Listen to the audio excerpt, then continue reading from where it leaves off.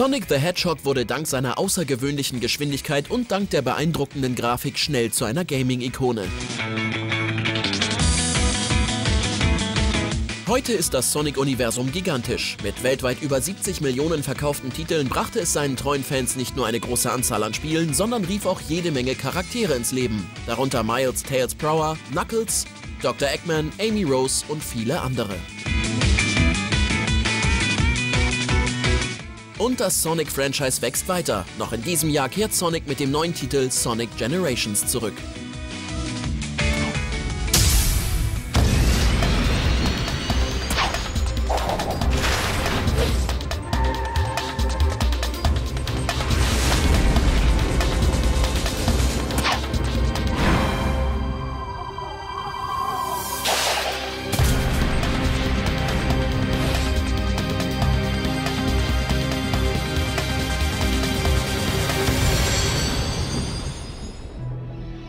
Den späten 80er Jahren war Nintendo dank Super Mario und der Spieleplattform NES Marktführer, sowohl im Konsolen- als auch im Softwarebereich. Ich habe mich mit Mr. Nakayama, dem CEO des Unternehmens, darüber unterhalten, was Sega tun musste, um am Wettbewerb des US-Markts teilzunehmen. Nintendo hat die Branche damals vollständig dominiert. Der Marktanteil lag bei über 90 Prozent. Und die Drittentwickler von Spielen waren alle von Nintendo abhängig. Sie verdanken Nintendo ihr gesamtes Auskommen. Daher war es zu diesem Zeitpunkt sehr schwer, auf den Markt vorzudringen.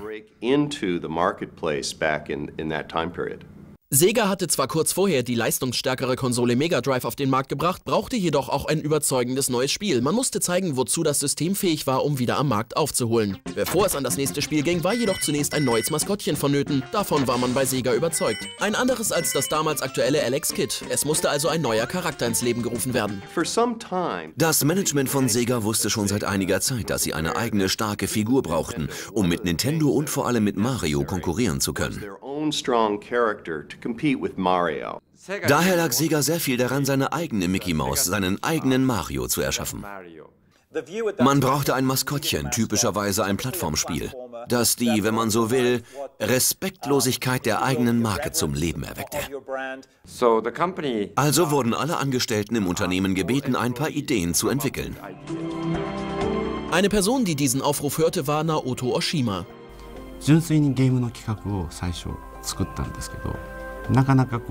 Ich entwarf ein Konzept, aber ich konnte mich nicht so richtig mit meinem Vorgesetzten einigen. Zu diesem Zeitpunkt hatte Naka-san gerade seinen Projektentwurf fertiggestellt. Also fragte ich ihn, ob er mit mir an einem Spielkonzept arbeiten würde. Er hat liebenswürdigerweise zugestimmt und meinte, ja, lass uns zusammenarbeiten. Sonic wurde schließlich aus den Gesprächen mit Naka-san geboren. Und während Oshima mögliche Charaktere entwarf, wurde Yuji Naka mit der Programmierung beauftragt. Er war ein junger und talentierter Sega-Programmierer, der bereits an verschiedenen Spielen gearbeitet hatte. Sein Ziel war es, nicht einfach ein Spiel mit dem neuen Maskottchen zu programmieren, sondern etwas zu erschaffen, das die wahre Leistung des Mega Drive dokumentieren konnte. Ich mag schnelle Dinge und ich dachte, dass es nett wäre, ein Spiel zu entwerfen, in dem man mit wachsender Geschicklichkeit einen Spielabschnitt schneller abschließen kann. Damals konnte man Spiele noch nicht speichern. Das bedeutete, dass man ein Spiel immer wieder von Anfang an spielen musste. Heute kann man ein Spiel einfach an der Stelle weiterspielen, an der man zuvor aufgehört hat. Doch damals mussten die Spieler wieder von vorn beginnen. Dadurch wurde der erste Spielabschnitt immer wieder gespielt und der Spieler wurde dabei sehr geschickt. Also haben wir uns überlegt, dass es sehr schön wäre, wenn der Spieler diese Spielabschnitte schneller abschließen könnte. Das ist der Grundgedanke hinter Sonics Geschwindigkeit. Außerdem dachten wir, dass man dadurch Sonic besser von Mario unterscheiden könnte. In einer Aufsichtsratssitzung mussten Naoto Oshima, Yuji Naka und die anderen Konkurrenten ihre Ideen und Konzepte für einen neuen Charakter und ein entsprechendes neues Spiel schließlich unabhängig voneinander vorstellen. Und sie wussten natürlich, dass nur ein Vorschlag angenommen werden würde.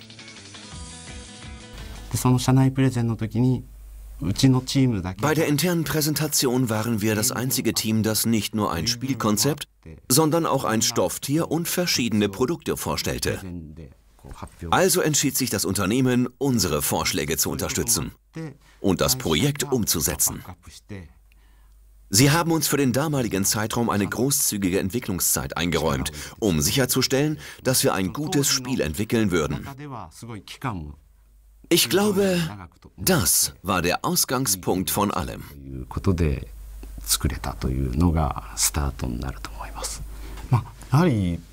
Der Hauptunterschied im Vergleich zur Programmierung anderer Titel bestand darin, dass vorhergehende Spiele meist auf Blockstrukturen basierten. Das heißt, Karten umfassten viele verschiedene Blöcke. Bei Sonic wollten wir uns von den individuellen Blöcken verabschieden und eine stufenlose Bewegung schaffen. Als wir herausgefunden hatten, wie man stufenlose Karten erstellt, dachten wir, dass wir auch Looping-Strukturen erstellen könnten. Allerdings war das schon eine ziemlich große Herausforderung. Denn wenn Sonic zu schnell wurde, ist er einfach heruntergefallen, anstatt den Looping entlang zu laufen. Das war ziemlich schwierig zu lösen. きれいに回すのに苦労した覚えはあります。あのソニックというキャラクターの Als ich meinen Entwurf von Sonic vorstellte, dachten alle, dass er ein Kind sei und eine ziemlich niedliche Figur. Aber für mich war Sonic eigentlich etwas älter und reifer. でも私が思ってたソニックはもっと大人をイメージしてたの。 als sich der neue Charakter Sonic the Hedgehog in der letzten Entwurfsphase befand, hatte man bei Sega of Japan endlich das Gefühl, das erhoffte neue Maskottchen sowie das passende Spiel gefunden zu haben. Sega of America war jedoch der Ansicht, dass Sonic nochmals überarbeitet werden muss, damit er besser zum westlichen Markt passt. Ich wurde gebeten, Sonic von seiner Hintergrundgeschichte bis zu seiner Figur neu zu gestalten, damit er für die Vermarktung als Comicbuchserie und im Fernsehen geeignet sein würde.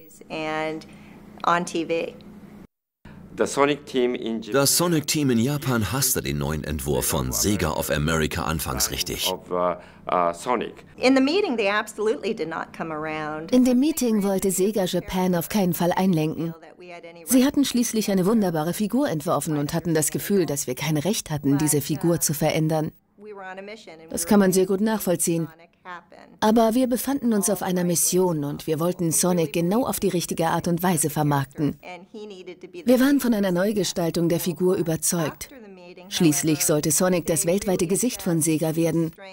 Nach dem Meeting haben sie dann die Stärke des Spiels und die Stärke der Plattform eingeschätzt und haben ermittelt, dass das Sega Mega Drive und Sonic in Amerika und Europa erfolgreicher sein würden als in Japan. Anhand dieser Analyse haben sie beschlossen, dass wir die Entscheidungen treffen dürfen, um Sonic zum Erfolg zu führen. Sega sorgte im amerikanischen Markt dafür, dass Sonic in gewisser Weise ausgefallener, etwas skurriler, witziger und auch etwas weicher wurde.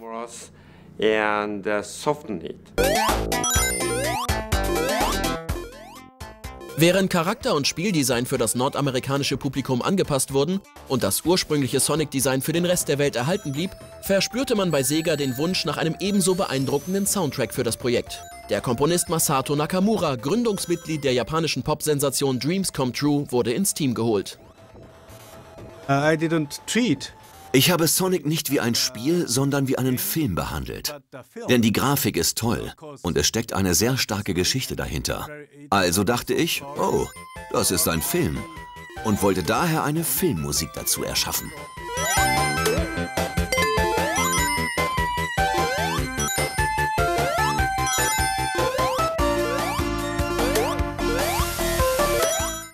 Da sich das Spiel selbst jedoch noch in der Anfangsphase der Entwicklung befand, standen Nakamura nur statische Bilder zur Verfügung, die ihn inspirieren sollten. Uh, das Sonic-Team erklärte mir, es wird so sein und es wird so sein. Ich fing also an, Songs zu schreiben. Aber ich war mir nie ganz sicher, denn das war alles total neu für mich und eine wirklich schwierige Aufgabe.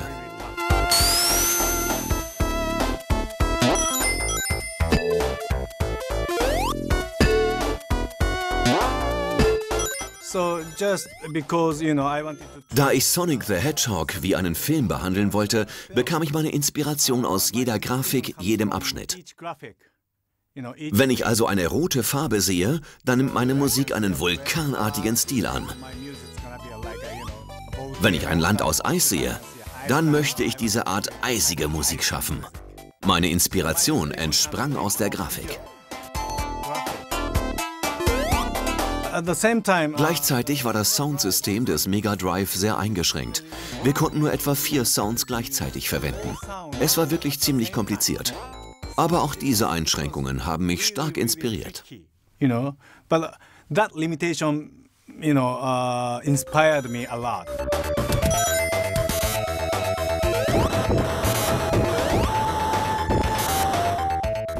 Die ersten Testversionen des Spiels machten einen guten Eindruck und bei Sega war man mehr und mehr der Überzeugung, mit Sonic the Hedgehog ein Spiel geschaffen zu haben, das dem Mega Drive den nötigen Schwung geben würde, um die Leistung der damals wirklich modernsten Hardware zu demonstrieren. Hm. Obwohl es sich bei dem Mega Drive um High-End-Hardware handelte, konnte man zu diesem Zeitpunkt dafür noch keine Hochgeschwindigkeitsspiele wie Sonic programmieren. Also gaben wir uns sehr viel Mühe, damit es funktionierte. いかにしてそのスピードを上げていくかっていうプログラムはかなりまあ詰めて作っていった記憶があります。 Ich war bei Sega Japan und besuchte eine ihrer Forschungs- und Entwicklungsabteilungen und sah dort eine sehr frühe Version von Sonic. Die Grafiken waren zur Hälfte fertig, nur ein Teil der ersten grünen Hügellandschaft. Schon aus der Entfernung sah es interessant aus, denn es war so hell. Und sobald ich näher kam, bewegten sie Sonic hin und her, ließen ihn sich zu einem Ball zusammenrollen. Und dann begann er sich zu bewegen. Ich hatte nie zuvor eine solche Geschwindigkeit gesehen.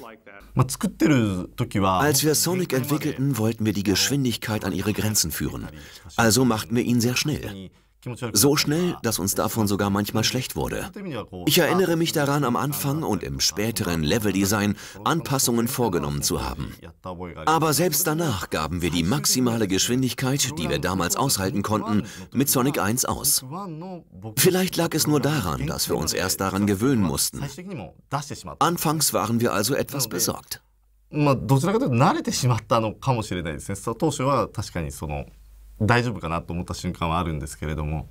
えー Etwa zwei Monate später kehrte ich zu Sega Japan zurück und ich bekam eine neuere Version des Spiels zu sehen.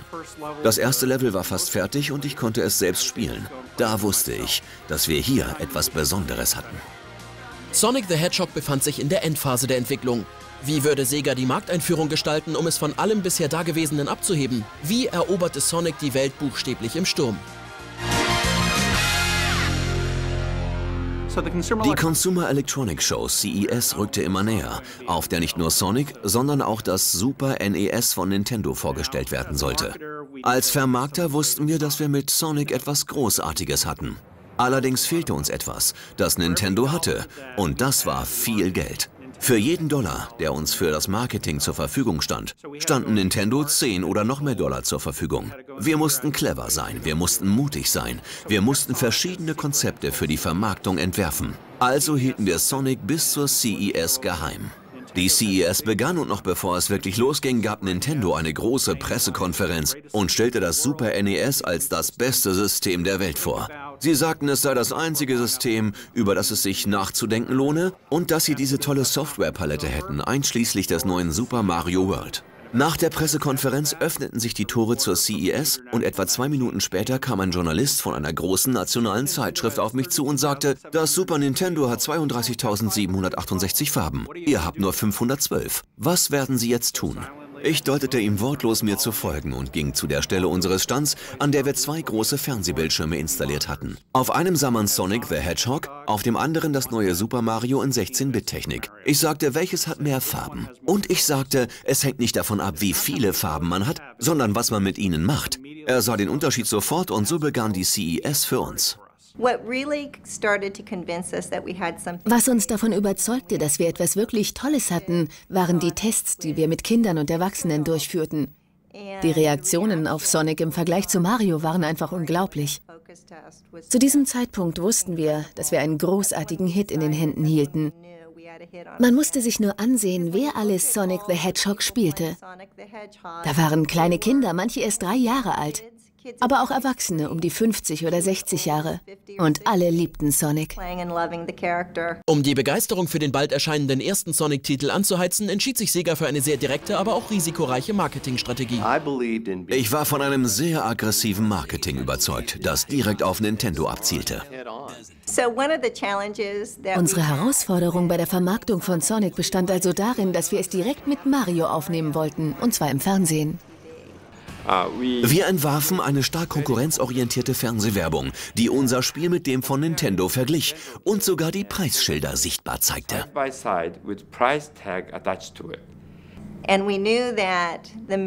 Wir wussten natürlich, dass Nintendo verlangen würde, dass wir den Fernsehspot zurückziehen, wenn er gegen Mario ausgerichtet sein würde.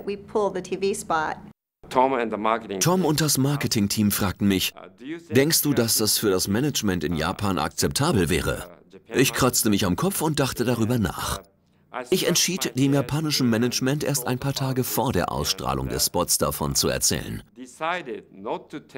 Für den Fall, dass sie sagen würden, das könnt ihr nicht senden, sofort stoppen, wollte ich antworten, ich habe versucht, es aufzuhalten, konnte es aber nicht mehr rechtzeitig stoppen.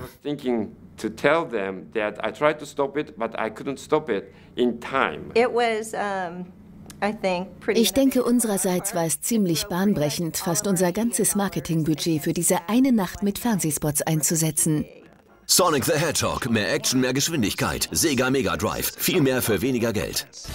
Sonic the Hedgehog erschien im Juni 1991 und die Reaktionen waren überwältigend. Noch nie zuvor hatten die Menschen etwas Vergleichbares gesehen. Doch was machte Sonic so besonders? Sonic war aus mehreren Gründen verlockend. Erstens verkörperte er eine schöne Einfachheit. Klare Linien, tolle Farben, das Blau und die roten Tennisschuhe.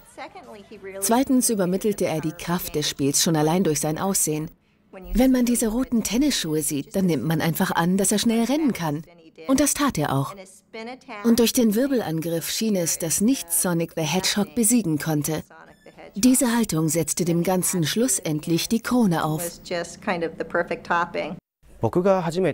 Zum ersten Mal spielte ich Sonic auf dem Mega Drive und es war das Originalspiel Sonic the Hedgehog.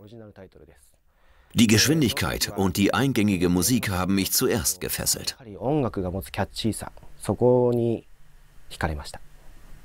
I was ich war von der Geschwindigkeit und der Atmosphäre des Spiels begeistert. Sonic the Hedgehog fühlte sich sofort fantastisch an. Es war einfach zu spielen und die Geschwindigkeit war bemerkenswert. Wie gesagt, ein gutes Gefühl. Ich hatte noch nie eine Figur gesehen, die sich so schnell über den Bildschirm bewegt. Zum damaligen Zeitpunkt war das wie Magie. Er war gewitzt. Er war nicht der gelassene, weiche, nette Typ. Er verfügte über einen gewissen Schneid und auch über ein wenig Besserwisserei, wenn man so will. Ich denke, dadurch wurde er für Kinder und Teenager reizvoll. Mein erster Eindruck war einfach nur cool. Diese kleine blaue Figur bewegt sich tatsächlich. Ich war daher ziemlich überrascht, dass es sich um ein Videospiel für zu Hause handelte. Das hat mich sehr beeindruckt. Sega ging davon aus, dass sie mit Sonic the Hedgehog Erfolg haben würden und Sonics unübertroffener Reiz stellte für Sega zugleich eine Innovationsmöglichkeit dar. Davon war Tom Kalinske überzeugt. Das Allerwichtigste für uns war jede Menge Hardware zu verkaufen, da man nur so auch eine Menge Software verkaufen kann. Wenn man nicht massenhaft Hardware in die Wohnungen bekommt, hat man keine Grundlage, um darauf einen Softwaremarkt aufzubauen. Tom und ich gingen nach Japan, nahmen im großen Konferenzsaal von Sega Japan an einem ovalen Tisch mit ungefähr 30 Vorstandsmitgliedern und anderen Direktoren Platz und erläuterten unsere Strategie. Wir wollten unseren Preis von 189 Dollar auf 149 Dollar senken, während Nintendo das Super Nintendo für 199 Dollar verkaufte. Außerdem wollten wir unsere Software Sonic 1 mit hinzugeben und das Bundle für genau diese 149 Dollar anbieten. Als Tom das zu erläutern begann, sah ich, wie Nakayama-san ziemlich blass wurde. Wütend stand er auf und sagte, wir verdienen Geld mit Software, weil wir mit der Hardware kaum Geld verdienen. Warum sollten wir die beste Software dann verschenken? Er schmiss seinen Stuhl um und rannte buchstäblich zur Tür. because we don't make money really from hardware. So uh, why we give away the best software uh, away? And he kicked the chair and literally ran to the door. Ich dachte, tja, das ist das Ende meiner Karriere. Aber er drehte sich an der Tür um und sagte, na gut, ich habe euch engagiert, um die Firma aufzubauen und Nintendo Marktanteile abzunehmen. Und wenn es das ist, was ihr glaubt, tun zu müssen, dann solltet ihr es auch tun. Er stand zu 100% hinter unserem Vorhaben, was meines Erachtens sein Verdienst ist, sein großer Verdienst. Denn er hätte auch einfach Nein sagen können.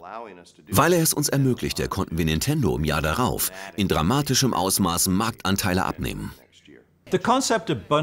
Das Konzept des Bundles, also die Kombination von Software und Hardware zum Ankurbeln der Umsätze oder zur Vorwegnahme einer Preissenkung, ist in unserer Branche sozusagen eine altehrwürdige Tradition.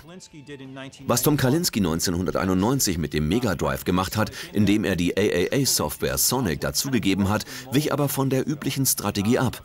Bis dahin hatte man weniger populäre Software kombiniert, weil es eine billigere und effektivere Vorgehensweise war, als Software abzugeben, die höhere Gewinnmargen versprach. Die Menschen kauften Sega-Konsolen nur, um Sonic spielen zu können. Eine Fortsetzung des Titels war unumgänglich. Als wir Sonic 1 fertiggestellt hatten, das ursprünglich in Japan entwickelt worden war, erkannten wir, dass die USA das Schlachtfeld gegen Nintendo waren. Also brachten wir das Team nach Kalifornien, nahmen amerikanische Mitarbeiter hinzu und begannen das neue Sonic-Spiel zu erschaffen. Das Ergebnis war eine viel bessere und engere Zusammenarbeit zwischen dem Sonic-Team und dem US-Marketing-Team the US marketing team. Nach Sonic 1 wollten wir Sonic weiter wachsen lassen. Wir kümmerten uns um seine Karriere wie um die Karriere eines berühmten Schauspielers. Daher war es am wichtigsten, zunächst Sonics Welt auszubauen und einen neuen Charakter namens Tails vorzustellen, damit Sonic einen Freund hatte. Und dann erweiterten wir seine Grundlagen und seine Hintergrundgeschichte. An Sonic 2 waren wir viel stärker beteiligt, obwohl das Sonic-Team natürlich das Design von Sonic 2 maßgeblich vorantrieb. Al Nielsen und ich stellten unter anderem sicher, dass die neu entwickelten Charaktere in die gesamte Welt passten. Aber der zweite Titel wurde definitiv vom Sonic-Team selbst vorangetrieben, erdacht und entwickelt. Es hat grandiose Arbeit geleistet. Als Sonic 2 kurz vor der Markteinführung stand, ließ sich Sega eine clevere Marketingstrategie einfallen, mit der Sonic zu einem weltweiten Medienereignis wurde. Und die Verkäufe des Mega Drive-Systems stiegen dank dem sogenannten Sonic Tuesdays, dem Verkaufsstart des neuen Titels, weiter an. Sonic Tuesday war eine Branchenpremiere und wir sind stolz darauf. Es war eine der ersten weltweiten Veröffentlichungen, wenn nicht sogar die allererste. Es bedurfte einer enormen logistischen Anstrengung, dafür zu sorgen, dass Millionen Sonic-Exemplare in jedem einzelnen Geschäft ankamen und bis zum Sonic Tuesday zurückgehalten wurden.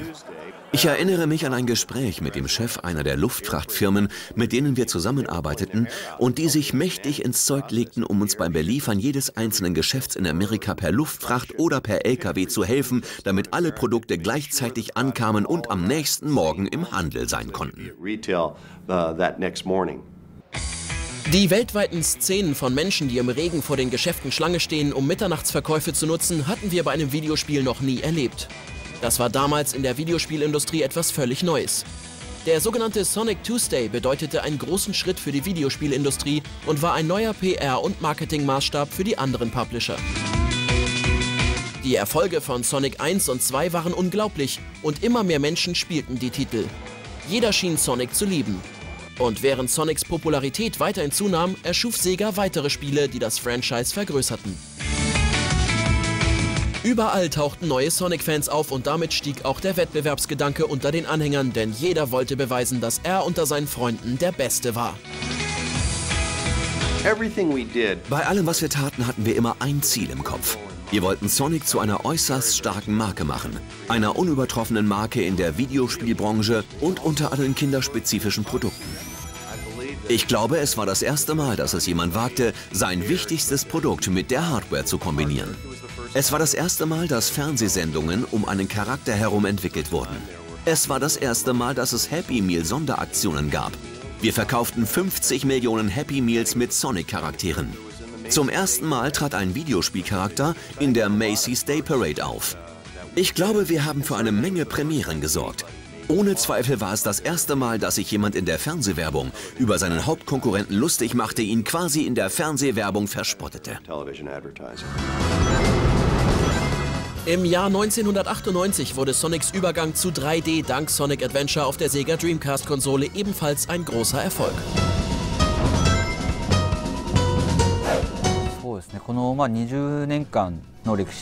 Einer der wichtigsten Wendepunkte in Sonics 20-jähriger Geschichte war Sonic Adventure 1998. Bis dahin gab es lediglich 2D-Grafik auf dem Mega Drive. Aber seit Sonic Adventure haben wir einen 3D Sonic. Zudem hatte Sonic erstmals eine Stimme. Und wir konnten seine Emotionen nachvollziehen, seine Motivation im Kampf gegen seine Gegner. Bei Sonic Adventure war diese Art von Dramatik erstmals in einem Sonic-Videospiel enthalten. Sonic hatte auf dem Mega Drive keine Stimme.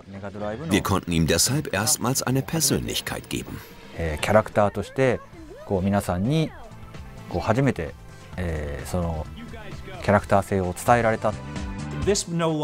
Das war nicht mehr einfach nur Sonic, wie er sich auf vorgegebenen Pfaden hoch und runter durch Berge und Landschaften bewegte. Dank der Power der Hardware gab es jetzt diese wundervolle Welt, die Sonic und seine Freunde umgab.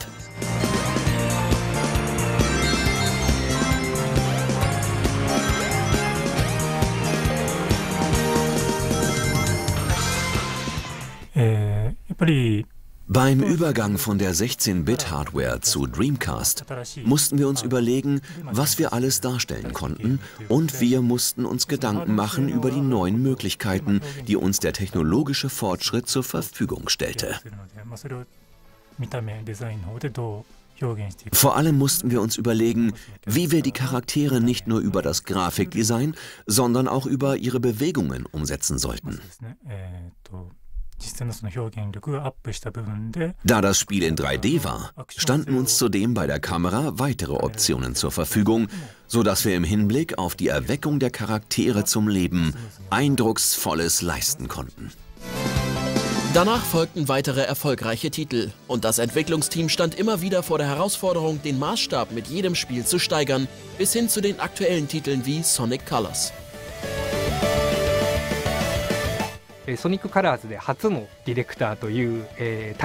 An Sonic Colors arbeitete ich erstmals als Director. Eine Rolle mit enormer Verantwortung. Ich wollte ein neues Sonic-Spiel erschaffen, das den Fans Vergnügen bereitete. Und ich wusste um die zahlreichen Talente des Sonic-Teams, die ein brillantes Sonic-Spiel kreieren konnten. Ich wusste, sie hatten Erfahrung darin, Sonic-Spiele zu erschaffen, die meinen Vorstellungen entsprachen. Also überließ ich dem Team die eigentliche Entwicklung von Sonic. Ich wollte das Spiel ganz bewusst mehr in Richtung Hochgeschwindigkeits-Action lenken, mit besonderem Schwerpunkt auf dem Plattformanteil. Das war die Philosophie hinter der Erschaffung von Sonic Colors. 作っていこうというふうに、えー、考えて ました。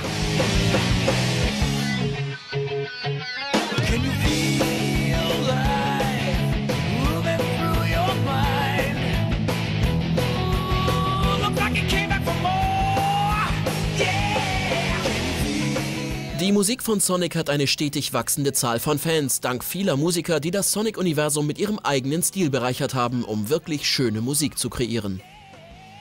Da es in der langen Geschichte von Sonic viele Kompositionen gab, fällt es schwer, eine einzige auszuwählen.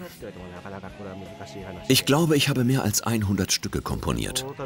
Aber wenn ich mich festlegen müsste, dann wäre es das Titellied von Sonic Adventure 2, Live and Learn. Und das Lied Escape from the City, das eines der Levels untermalt. あとはそのタイトルの中のステージ曲の一つだった「Escape from the City」という曲ですね。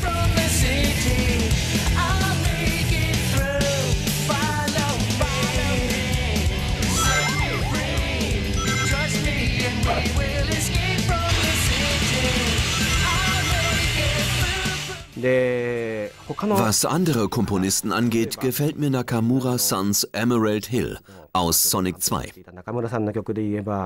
えー、僕はソニック2のエメラルドヒルというステージの曲が好きです。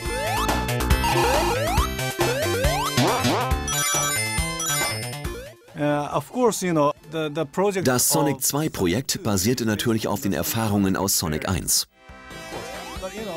Technisch war es weiterentwickelt, auch in Sachen Sound. Sound itself. Audience expected more. Die Erwartungen des Publikums waren höher. Sonic 1 war ein großer Erfolg, also wollte ich die Leute mit Sonic 2 nicht enttäuschen. Auf mir lastete ein enormer Druck.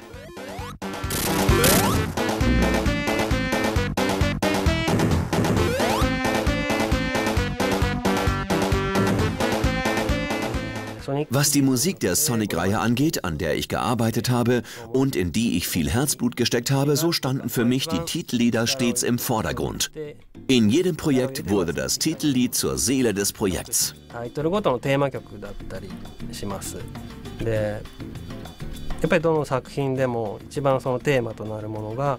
やっぱりどの作品でも一番そのテーマとなるものが一番その作品の核となるものを表しているのでソニックのタイトルの、えー、楽曲を制作して今までで一番 Meine Lieblingserinnerung an das Komponieren für all die Sonic-Spiele ist das Erschaffen der Musik für Sonic Adventure.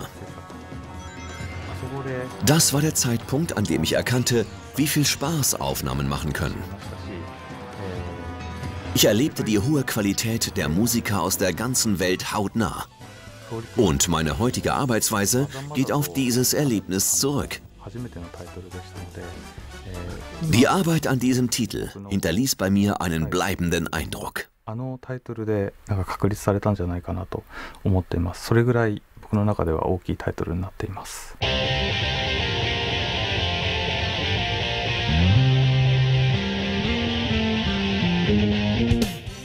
Zur Feier seines 20. Jubiläums wird Sonic dieses Jahr in dem Spiel Sonic Generations zurückkehren. Dabei beinhaltet der Titel die bedeutendsten Epochen aus Sonics bemerkenswerter 20-jähriger Videospielgeschichte. Eines der besonderen Features von Sonic Generations ist die Möglichkeit, die klassischen 2D-Level erstmals als 3D-Levels spielen zu können. Und diese klassischen Levels als Sonic-Welt neu zu erschaffen. Und so wie die klassischen 2D-Levels in 3D gespielt werden können, kann man auch klassische 3D-Levels als 2D-Plattform-Action spielen.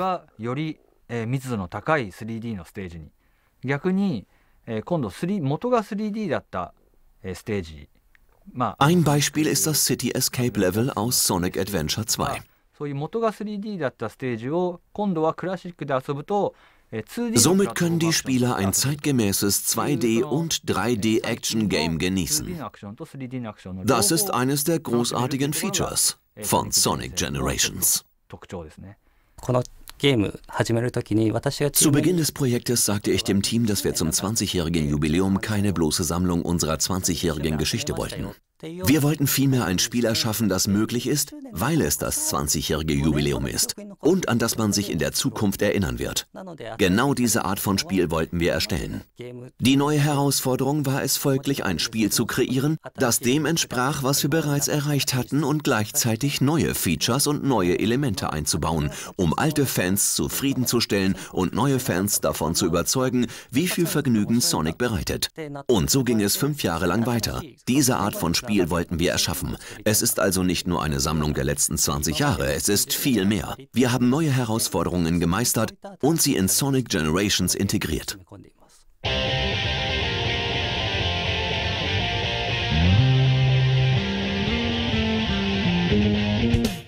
Es ist unfassbar, dass uns Sonic the Hedgehog Spiele jetzt schon seit 20 Jahren Vergnügen bereiten. Es gibt ehrlich gesagt nur ganz wenige Charaktere oder Spielideen, die fünf oder sechs Jahre nach Fortsetzungen überleben. Geschweige denn zwei Jahrzehnte. Ich glaube, das beweist die Zeitlosigkeit, die Brillanz des Gameplays. Es beweist die Fülle der Welt von Sonic the Hedgehog und all seinen Freunden. Er hat den Übergang von Plattform zu Plattform nahtlos geschafft und nie nachgelassen. Nie sein unvergleichliches Gameplay verloren nie dieses Gefühl schnoddriger Respektlosigkeit verloren, das wir alle beim Spielen von Sonic empfinden. In unserer heutigen Branche kommt es nur äußerst selten vor, dass ein Charakter so sehr dem Zahn der Zeit trotzen kann wie Sonic the Hedgehog.